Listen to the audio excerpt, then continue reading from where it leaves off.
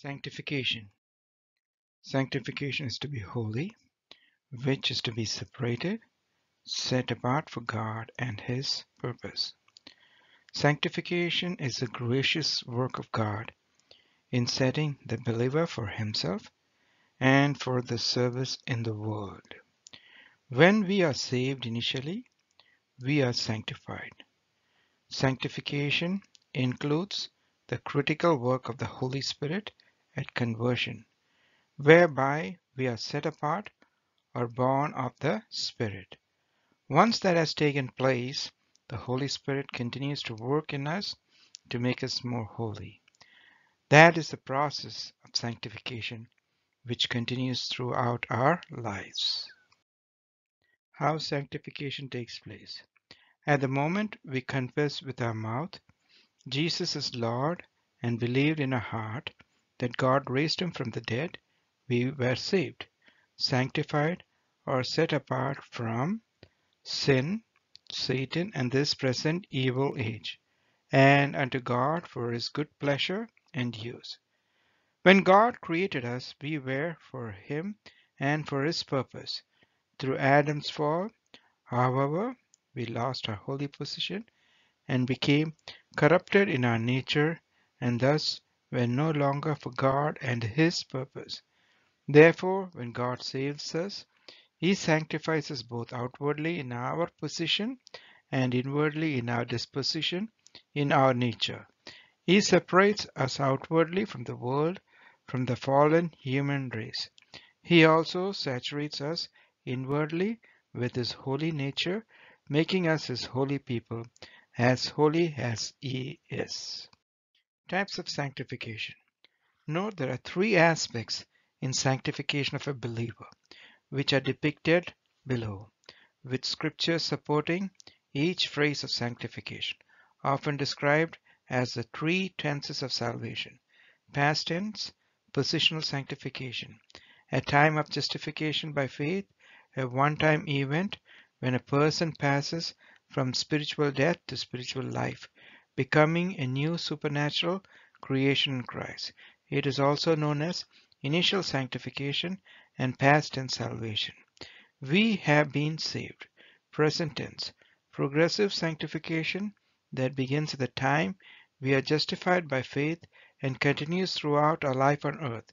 It is also known as growing in Christ likeness and present tense salvation. We are daily, moment by moment being saved. He who began a good work in you will carry it on to completion until the day of Christ Jesus.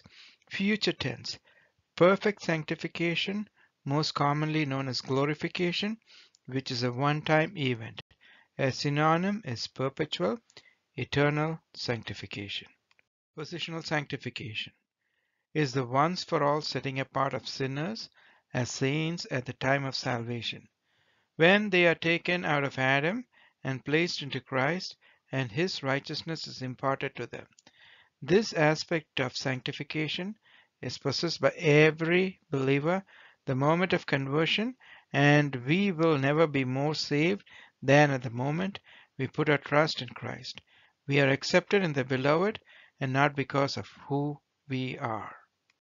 Positional sanctification means that in Christ we have been set apart to belong to God and to serve Him. Positional sanctification never changes. 1 Corinthians chapter 1 verse 2 says, To the church of God in Corinth, to those sanctified in Christ Jesus and called to be holy, together with all those everywhere who call on the name of our Lord Jesus Christ, their Lord and ours. You can hardly call the people in the church at Corinth godly people. Some of them were getting drunk, some of them were living in immorality, some of them were suing each other, and yet Paul addressed them as church, called out people, sanctified in Christ Jesus. This is positional sanctification. It never changes. Progressive or practical sanctification is the process by which believers are set apart by God as a special people to grow spiritually in personal holiness and to develop Christ-like character. This process continuing as long as we live. Progressive sanctification is the daily growth in grace, so that believers are becoming in practice more and more set apart for God's use. The primary means of sanctification is the Holy Word. The Spirit of God takes the Word of God and makes the child of God like the Son of God. As we walk in the Spirit and obey the Word, stated another way, progressive sanctification is the Holy Spirit working in our lives to produce holiness in our walks. Progressive sanctification is different from positional sanctification in that positional sanctification is entirely the work of God, while progressive sanctification includes human responsibility. Progressive sanctification is the process of being conformed to the image of Christ. This is Christian growth, putting away sin and putting on godliness. All believers are exhorted to pursue progressive sanctification, for this is the will of God, even your sanctification, that ye should abstain from fornication. This aspect of our sanctification is a matter of choice to the believer. If a man therefore purge himself from these, he shall be a vessel unto honor, sanctified and meet for the master's use, and prepare unto every good work. Flee also youthful lusts, but follow righteousness, faith, charity, peace with them that call on the Lord out of a pure heart. Perfect sanctification. This is the final perfection of the believer, which will take place at the return of Christ. And the very God of peace sanctify you wholly. And I pray God, your whole spirit and soul and body be preserved blameless unto the coming of our Lord Jesus Christ. Perfect sanctification is a plan and purpose of God for every believer. This phase of sanctification cannot and will not be attained while we are in our mortal bodies. However, it will be accomplished what God started in the believer, he will finish being confident of this very thing, that he which hath begun a good work in you will perform it until the day of Jesus Christ. Perfect sanctification will be the completion of what God started in us on the day of our salvation. Like positional sanctification, this is wholly the work of God. At Christ's coming, every believer will receive a new body that will have no sin. Beloved, now are we the sons of God, and it doth not yet appear what we shall be. But we know that when he shall appear, we shall be like him, for we shall see him as he is. The Christian will no longer have to resist sin within or to grow toward perfection. His sanctification will be complete. He will be holy and forever set apart to God from sin. Perfect sanctification, of course, will take place when we see the Lord Jesus Christ at his coming, and we will be like him, for we shall see him as he is. These three aspects of sanctification relate to each other because we know we have been set apart by God and because we know that Jesus is coming and we will be like him. We want to keep our lives clean today. We want to seek to become more like the Lord Jesus Christ. Nature of sanctification. Sanctification is that inward spiritual work which the Lord Jesus Christ works in a man by the Holy Spirit. When he calls him to be a true believer, he not only washes him from his sins in his own blood, but he also separates him from his natural love of sin and the world, puts a new principle in his heart, and makes him particularly godly in life. The instrument by which the Spirit effects this work is generally the Word of God. Though he sometimes uses afflictions and providential visitations without the Word, the subject of this work of Christ by his Spirit is called in Scripture a sanctified man. The Lord Jesus has undertaken everything that his people's soul require, not only to deliver them from the guilt of the sins by his atoning death, but from the dominion of their sins by placing in their hearts the Holy Spirit not only to justify them, but also to sanctify them. He is thus not only their righteousness, but their sanctification. Let us hear what the Bible says. For their sakes I sanctify myself, that they also might be sanctified. Christ loved the church and gave himself for it, that he might sanctify and cleanse it. Christ gave himself for us, that he might redeem us from all iniquity and purify unto himself a peculiar people, zealous of good works. Christ bore our sins in his own body on the tree, that we, being dead to sins, should live unto righteousness. Christ has reconciled in the body of his flesh through death to present he holy and unblameable and unreprovable in his sight. Sanctification is the invariable result of that vital union with Christ which true faith gives to a Christian. He who abides in me and I in him, the same brings forth much fruit. The branch which bears no fruit is no living branch of the vine. The union with Christ which produces no effect on heart and life is a mere formal union, which is worthless before God. The faith which has not a sanctifying influence is a dead faith because it is alone. It's not the gift of God. It's not the faith of God's elect. In short, where there is no sanctification of life, there is no real faith in Christ. True faith works by love. It constrains a man to live up to the Lord from a deep sense of gratitude for redemption.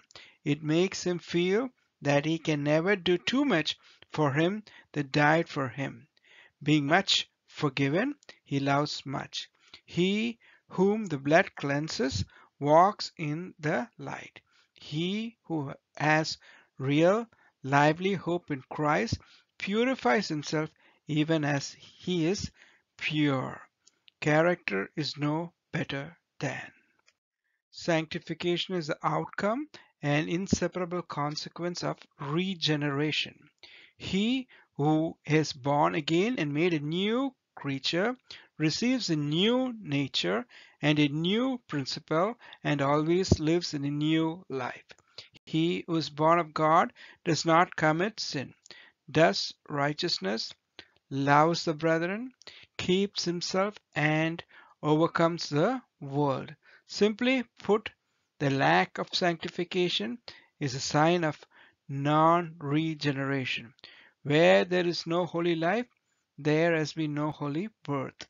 This is a hard saying, but a biblical truth. Whomever is born of God, it is written, cannot sin, because he is born of God. Sanctification is the only certain evidence of that indwelling of the Holy Spirit which is essential to salvation. If any man have not the Spirit of Christ, he is none of his. The Spirit never lies dormant and idle within the soul. He always makes his presence known by the fruit he causes to be born in heart, character, and life. The fruit of the Spirit, says Paul, is love, joy, peace, long-suffering, gentleness, goodness, faith, meekness, temperance, and such like. Where these things are to be found, there is the Spirit. Where these things are wanting, men are dead before God. Sanctification is the only sure mark of God's elect. Elect men and women may be known and distinguished by holy lives. It is expressly written that they are elect through sanctification, chosen to salvation through sanctification, predestinated to be conformed to the image of God's Son, and chosen in Christ before the foundation of the world that they should be holy. Hence, when St. Paul saw the working faith and laboring love and patient hope of the Thessalonian believers, he said, I know your election of God. Sanctification is a reality that will always be seen. A truly sanctified person may be so clothed with humility that he can see in himself nothing but infirmity and defects. Like Moses, when he came down from the mount, he may not be conscious that his face shines like the righteous. In the mighty parable of the sheep and the goats, he may not see that he has done anything worthy of his master's notice and commendation. When saw we you and hungry and fed you? But whether he sees it himself or not, others will always see in him a tone and taste and character and habit of life unlike that of other men. Sanctification is a reality for which every believer is responsible. In saying this, I would not be mistaken. I hold as strongly as anyone that every man on earth is accountable to God and that all the lost will be speechless and without excuse at the last day. Every man has power to lose his own soul, but while I hold this, I maintain that believers are eminently and peculiarly responsible and under a special obligation to live holy lives. They are not as others, dead and blind and unrenewed. They are alive unto God and have light and knowledge and a new principle within them. Whose fault is it if they are not holy, but their own? On whom can they throw the blame if they are not sanctified but themselves? God, who has given them grace and a new heart and a new nature, has deprived them of all excuse. If they do not live for His praise, if the Savior of sinners gives us renewing grace and calls us by His Spirit, we may be sure that He expects us to use our grace and not to go to sleep. It is forgetfulness of this which causes many believers to grieve the Holy Spirit and makes them very useless and uncomfortable Christians. Sanctification is a thing which admits of growth and degrees. A man may climb from one step to another in holiness and be far more sanctified at one period of his life than another, more pardoned and more justified that he is when he first believes he cannot be. Though he may feel it more, more sanctified he certainly may be, because every grace in his new character may be strengthened, enlarged, and deepened. This is the evident meaning of our Lord's last prayer for his disciples when he used the word sanctify them and of St. Paul's prayer for the Thessalonians. The very God of peace sanctify you. In both cases, the expression plainly implies the possibility of increased sanctification. Sanctification depends greatly on a diligent use of scriptural means. The means of grace are such as Bible reading, private prayer, and regular worshiping God in church, wherein one hears the word taught and participates in the Lord's Supper. I lay it down as a simple matter of fact that no one who's careless about such things must ever expect to make much progress in sanctification. I can find no record of any eminent saint who ever neglected them. they are appointed channels through which the Holy Spirit conveys fresh supplies of grace to the soul and strengthens the work which He has begun in the inward man. Sanctification is a thing which does not prevent a man having a great deal of inward spiritual conflict. By conflict, I mean a struggle within the heart between the old nature and the new, the flesh and the spirit, which are to be found together in every believer. A deep sense of that struggle and a vast amount of mental discomfort from it are no proof that a man is not sanctified. No, rather I believe they are healthy symptoms of a condition and prove that we are not dead but alive. A true Christian is one who has not only peace of conscience but war within. He may be known by his warfare as well as by his peace. In saying this, I do not forget that I am contradicting the views of some well meaning Christians who hold the doctrine called sinless perfection. I cannot help that. I believe that what I say is confirmed by the language of St. Paul in the seventh chapter of Romans. That chapter I commend to be careful study of all my readers. I am quite satisfied that it does not describe the experience of any unconverted man or of a young and unestablished Christian but of an old, experienced saint in close communion with God. None but such a man could say, I delight in the law of God after the inward man. Sanctification is a thing which cannot justify a man, and yet it pleases God. The holiest actions of the holiest saint that ever lived are all more or less full of defects and imperfections.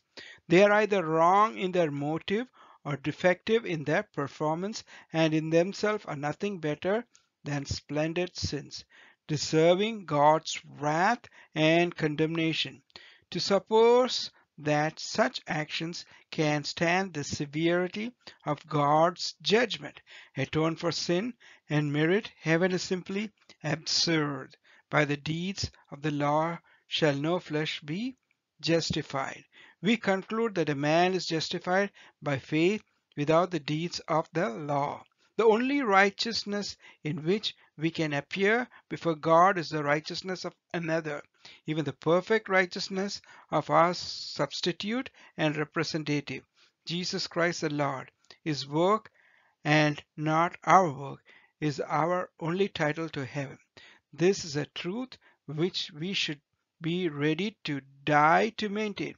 For all this, however, the Bible distinctly teaches that the holy actions of a sanctified man, although imperfect, are pleasing in the sight of God. With such sacrifices, God is well pleased. Obey your parents, for this is well pleasing unto the Lord. We do these things that are pleasing in His sight. Sanctification is a thing which will be found absolutely necessary as a witness to a character in the great day of judgment. It will be utterly useless to plead that we believed in Christ unless our faith has had some sanctifying effect and been seen in our lives. Evidence, evidence, evidence will be the one thing wanted when the great white throne is set. When the books are opened, when the graves give up their tenants, when the dead are arranged before the bar of God without some evidence that our faith in Christ was real and genuine, we shall only rise again to be condemned.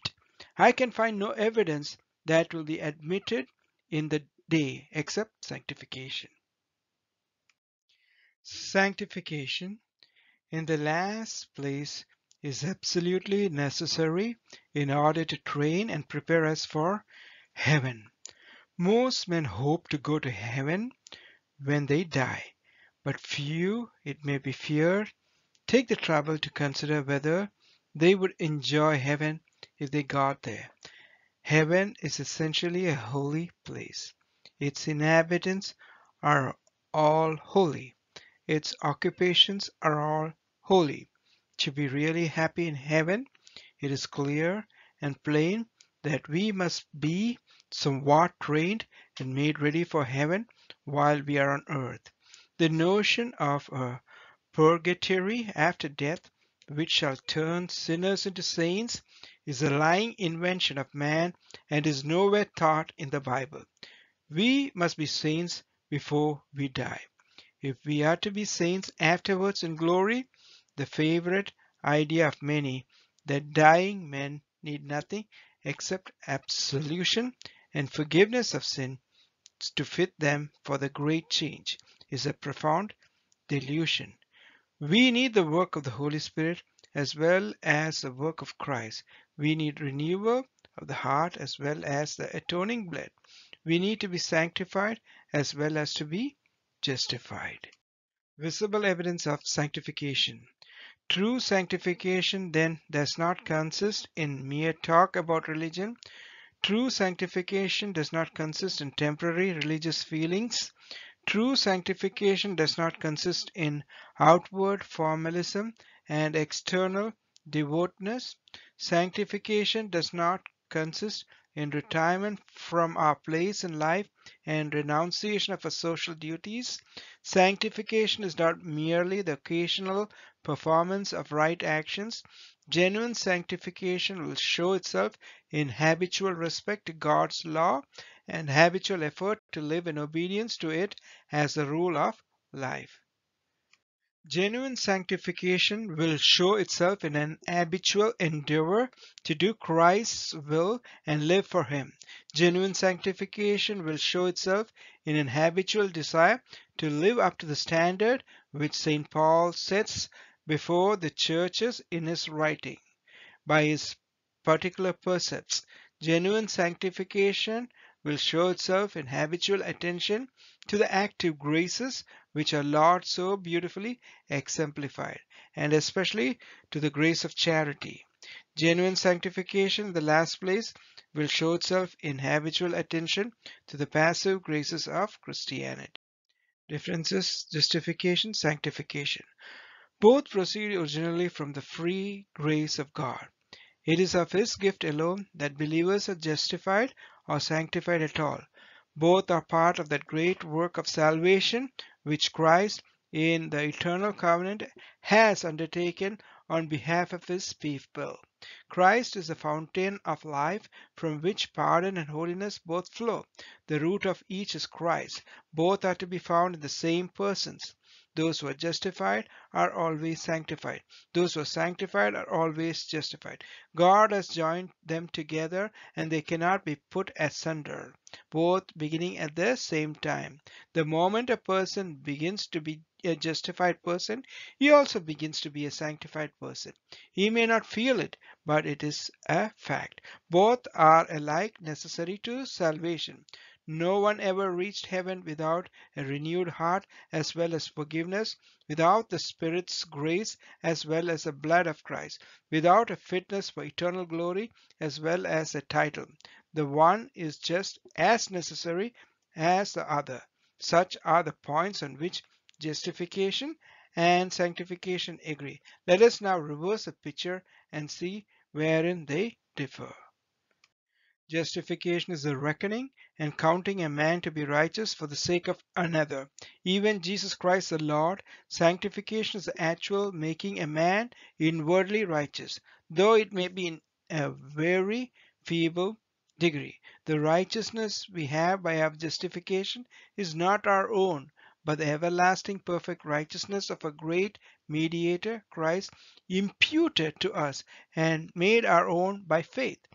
The righteousness we have by sanctification is our own righteousness, imparted, inherent, and wrought in us by the Holy Spirit, but mingled with much infirmity and imperfection. In justification, our own works have no place at all, and simple faith in Christ is one thing needful. In sanctification, our own works are of vast importance, and God bids us fight and watch and pray and strive and take pains and labor. Justification is a finished and completed work, and a man is perfectly justified the moment he believes. Sanctification is an imperfect work comparatively and will never be perfected until we reach heaven. Justification admits of no growth or increase. A man is as much justified the hour he first comes to Christ by faith as he will be to all eternity. Sanctification is eminently a progressive work and admits of continual growth and enlargement so long as a man lives. Justification a special reference to our persons, our standing in God's sight, and our deliverance from guilt. Sanctification a special reference to our natures and the moral renewal of our hearts. Justification gives us a title to heaven and boldness to enter in. Sanctification gives us fitness for heaven and prepares us to enjoy it when we dwell there. Justification is the act of God about us and is not easily discerned by others. Sanctification is the work of God within us and cannot be hid in its outward manifestation from the eyes of men. Two aspects of sin. To begin with, Paul pointed out that there are two different aspects to sin. There are sins of the flesh and there are sins of the spirit. Let us purify ourselves from everything that contaminates body and spirit. In other words, we have here the prodigal son. He was guilty of sins of the flesh, and the elder brother, he was guilty of sins of the spirit. When David committed adultery with Bathsheba, that was a sin of the flesh. When David numbered the people in pride and rebelled against God, that was a sin of the spirit. There are sins of action and there are sins of attitude, sins of the flesh. Let's talk about these sins of the flesh. By flesh, of course, Paul meant the old nature. When you and I were born again, God gave us a new nature, but He did not change the old nature. You and I are capable of sinning today. We don't want to, because the desires of the new nature have lifted us higher. But now we see what sin is really like. The Word of God and the Spirit of God have revealed to us the awfulness of sin, and we want nothing to do with it, but we are capable of sinning. Everything the Bible has to say about the flesh is negative. The Spirit gives life, the flesh counts for nothing. We are to have no confidence in the flesh. The flesh is that which produces sins. Out of the heart of man, the old nature, comes all sorts of evil things, lying and lust and all the things that wreck our lives and ruin our testimonies. Galatians chapter 5 verses 19 to 21 has recorded the works of the flesh and 17 different sins are mentioned there. In Romans chapter 1 verses 19 to 32 at least 24 different sins are mentioned. The flesh is very productive when it comes to producing sin, and the flesh cannot be changed. We need to cleanse ourselves from all filthiness of the flesh. The sins of the spirit. There are also sins of the spirit. You and I may not be guilty of drunkenness, adultery, gluttony, or laziness, but how about pride, stubbornness, or criticism. G. Campbell Morgan used to call the sins of the spirit sins in good standing. You have to be very careful about them. You may not be a prodigal son, but you might be an elder brother. So critical that you won't fellowship with your brother. There are two aspects of sin, and we have to deal with them both the filthiness of the flesh and also the filthiness of the spirit two aspects of holiness. 2 Corinthians chapter 7 verse 1 reveals that there are also two aspects to holiness. There is a negative aspect, let us purify ourselves, and a positive aspect, perfecting holiness out of reverence for God. Cleansing, let us purify ourselves means once and for all, let us cleanse out of our lives the defilement of sin. In fact, Paul wrote about this in 2 Corinthians chapter 6 verses 14 to 18. Do not be yoked together with unbelievers. This is a farm picture. You don't yoke an ox and an ass together. They have two different temperaments, and they are not going to be able to work together. Believers should not be yoked together with unbelievers in marriage or in business. For what do righteousness and wickedness have in common? The word common is a commercial term. It means partnership. Righteousness cannot be in partnership with unrighteousness. For what fellowship can light have with darkness? The word communion means to have in common. It is a family term. We do not have anything in common with unsaved people other than our humanity. Because we are light and they are darkness, we have righteousness and they have unrighteousness. What harmony is there between Christ and Belial? The word harmony here is a musical term. We aren't even playing in the same orchestra with the unsaved. We aren't following the same conductor or reading the same score. Therefore, how can we ever make music together? It is such a sad thing when believers try to manufacture harmony with unbelievers. You can't make a beautiful home that way. What does a believer have in common with an unbeliever? What agreement is there between the temple of God and idols? For we are the temple of the living God, as God had said, I will live with them and walk among them, and I will be their God, and they will be my people. So the first aspect of holiness is to cleanse ourselves. This doesn't mean we become isolationists. We must live in the world, but not like the world. We are to be the salt of the earth and the light of the world. We must have contact but not contamination. This is what the Bible calls separation, setting ourselves apart and saying, I'm not going to be yoked with unbelievers. I don't agree with them. I'm not going to try to make music with unbelievers because I just don't have the same conductor that they have. Separation, not isolation or insulation. But biblical separation means cleansing ourselves. Often we pray, Oh God, cleanse me. And God comes back and says, Why don't you cleanse yourself? Get rid of these videos. Get those books and magazines out of your library. Put away these things and be separate. Isaiah 116 says, Wash and make yourselves clean. Living in His presence. It isn't enough to be negative like the Pharisees and not do certain things. We have to be positive, perfecting holiness out of reverence for God. We have here a consistent, constant process. Holiness is what God is, and as we grow in holiness, we become more like God. In the Old Testament tabernacle, there was a laver. The laver made cleansing possible. That's negative, but there was also a holy of holies. The priest was only allowed to enter there once a year. You and I can enter into God's presence at any time. In fact, we should live in His presence. The laver cleanses us, but being in fellowship with God in the Holy of Holies perfects us. Don't be afraid of holiness.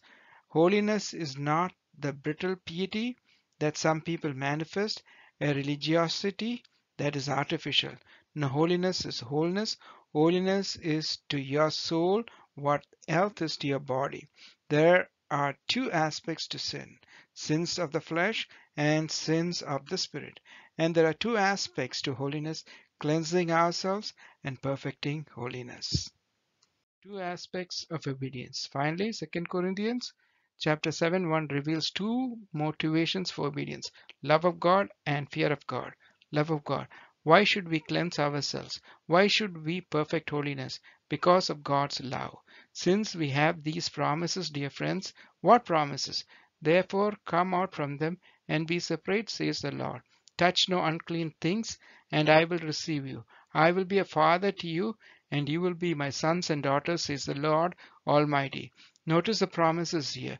When you were saved, God became your father, but he cannot be a father to you if you are disobedience.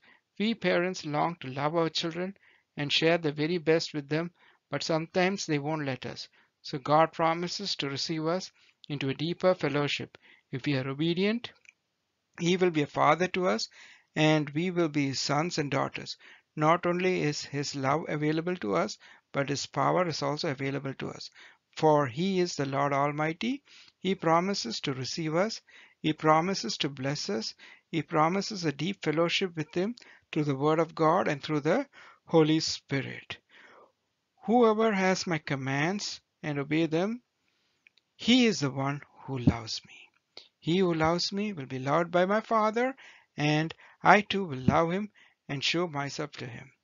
Then Judas, not Judas Iscariot, said, But Lord, why do you intend to show yourself to us and not to the world? Jesus replied, If anyone loves me, he will obey my teaching. My Father will love him, and we will come to him and make our home with him. That is a deeper fellowship with God, because we are cleansing ourselves and perfecting holiness in the fear of God. Fear of God. The first motive for obedience is reverence. The second is fear. Perfecting holiness out of reverence for God. We don't have just God's promises, we also have God's discipline. If we do not walk in separation, God has to discipline us. He does not want us to become prisoners. He wants us to be sons and daughters who walk with Him. He says, Therefore come out from them and be separate. Touch no unclean thing, and I will receive you. We do this out of reverence for God. There is a sweet, deep fellowship with God that is so precious. There is also a walk with God that demands fear and reverence. We ought to reverence our Father in heaven because it is He who has commanded us to be holy. This is practical, progressive sanctification, being aware of the sins of the flesh and of the spirit, being diligent to cleanse ourselves. We are motivated by the love of God because of His promises and by the fear of God because of His discipline. Since we have these promises, dear friends, let us purify ourselves from everything that contaminates body and spirit, perfecting holiness out of reverence for God. Are three tenses of sanctification position, past, present experience, future certainty. We go according to past, present, and future. So the past sanctification is a condition, present sanctification is a process, future sanctification is a promise. In the past it's justification, the present it's sanctification, in the future it's glorification. In the past it's one time event occurs in the past, in the present daily event moment by moment occurs in the present, future one time event or blessed living hope to be fulfilled in the future. Past tense salvation, have been saved. Present tense salvation, I am being saved. Future tense salvation, I will be saved. Three stages of sanctification. We read different verses for the past, present, and future. You can go through this slide well to understand. I do not like to go in details, but uh, there's a slide for you to understand. It's self-explanatory. William MacDonald has a straightforward explanation. Hebrews chapter 12 verse 14. Pursue peace with all men and the sanctification holiness without which no one will see the Lord. We should also strive for the holiness without which no one will see the Lord. What is the holiness referred to here? To answer the question, we should remind ourselves that holiness is used of believers in at least three different ways in the New Testament. First of all, the believers become positionally holy at the time of his conversion. He is set apart to God from the world. By virtue of his union with Christ, he is sanctified forever. This is what Martin Luther meant when he said, My holiness is in heaven. Christ is our holiness. That is, as far as our standing before God is concerned. Then there's a practical sanctification. That's progressive sanctification. This is what we should be day by day.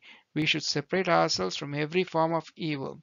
This separation must not be legalistic, me trying harder to do some sin, etc., but should be enabled by leaning continually on the supernatural power of the indwelling Spirit of Christ. This holiness should be progressive. This is, we should be growing more and more like the Lord Jesus all the time. Finally, there is complete or perfect sanctification, glorification, future tense salvation. This takes place when a believer goes to heaven. Then he is forever free from sin. His old nature is removed and his state perfectly corresponds to his standing. Now, which holiness are we to pursue? Obviously, it is practical sanctification that is in view. We do not strive after positional sanctification, it is ours automatically when we are born again.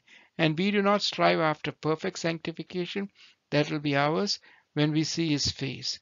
But practical or progressive sanctification is something that involves our obedience and cooperation.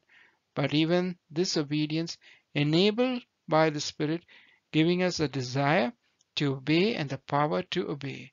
We must cultivate this holiness continually. The fact that we must follow it is proof that we do not fully attain it in this life. The process of sanctification. God sanctifies us through the working of the Holy Spirit in us in three steps. 2 Thessalonians chapter 2 verse 13. Romans chapter 15 verse 16. Before we believe in Christ, the Holy Spirit of God sanctifies us by convicting us concerning sin, righteousness, and judgment, thereby causing us to repent to God, to obey Christ, and to receive Christ's redemption. 1 Peter chapter 1 verse 2, John 16 8 to 11. When we believe in the Lord and are baptized, we are separated from the world to God by Christ's redeeming blood, and God transfers us out of Adam into Christ, thereby sanctifying us positionally. Hebrews chapter 13 verse 12. In 1 Corinthians chapter 1 13. Romans 6:3 After we are regenerated through our faith in Christ, the indwelling Holy Spirit continues to sanctify us dispositionally through our entire Christian life, daily imparting into us God's holy life and holy nature until our entire being, spirit and soul and body is sanctified. The results of sanctification. We become a particular people, a holy nation, a treasure for God's possession, God's holy nature becomes our nature and we spontaneously live a holy life, a life that expresses God in His holiness. We become God's sons as brothers of Christ, thus fulfilling the purpose for which God chose us and predestinated us. Romans 8:29. We become the glorious bride of Christ, holy and without blemish. Ultimately, we will become the new Jerusalem, the holy city, and the wife of the Lamb, Christ. Conclusion May the Lord bless these words and keep it in our midst.